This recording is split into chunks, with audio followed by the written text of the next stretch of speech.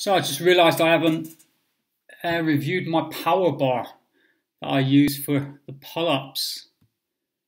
And uh, they seem to have a new model. This is the one that I've got, the older one here.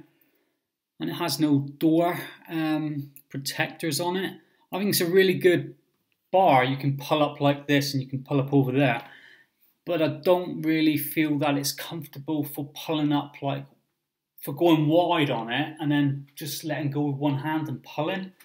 It's sort of like safe, but it doesn't feel totally safe. So if you're going to pull up and like go like this and, and do those type of moves, I don't overly feel comfortable on it. And you can't do muscle ups on it because you're going to whack your head on the ceiling. So just a normal bar that goes between things like over a stairway is better for doing muscle ups and stuff. Um, these sort of bars outside these are really good for uh, you could you could safely do more pulling over to one side on it easier. I've done pulling over to one side, but not as um, I don't feel as comfortable. This guy seems to have put foam on his. Um, there's a different model like that, but I haven't used that one. So there's the one that I use. I keep getting crap pictures, don't I? So yeah, that's the one that I use. You can do push-ups on it as well, but like I said, there's a uh, there's a new model now with door frame protectors.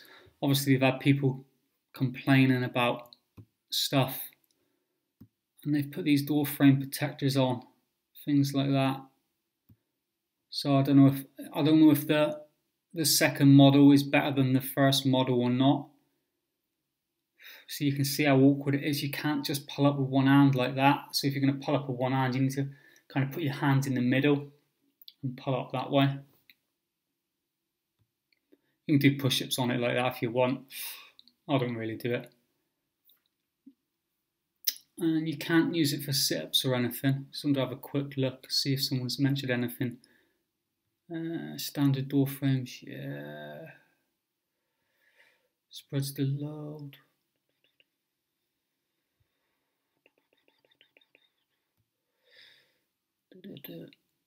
Yeah, I think it's pretty good. Look, pretty much everyone's agreeing. 187 people, five stars. When you look at the twos, you got one person giving it two and three people giving it one. I always go straight down to these and look at things. Check your door frame. Mm, well designed needs more dimensions. Part does not fit the size of doorways advertised. Be careful. The armrests on top of the. Uh, someone's had stuff fucking break on them. My door frames are, uh, I believe they're metal though, so like I say, I've had, I've had no problem with it at all, and I would highly recommend it for. Um, if you want to do, if you don't want to put up a proper bar that's up permanently, it is. Uh, I won't say I'm disappointed in buying it. It is really good. You can see another from around the other side of it. I could film mine, but what the frick? Where's the picture? Yeah, every time I want the bloody right picture, there it is. So you can see how it goes over, and that's exactly how mine is. And uh, it's the same model.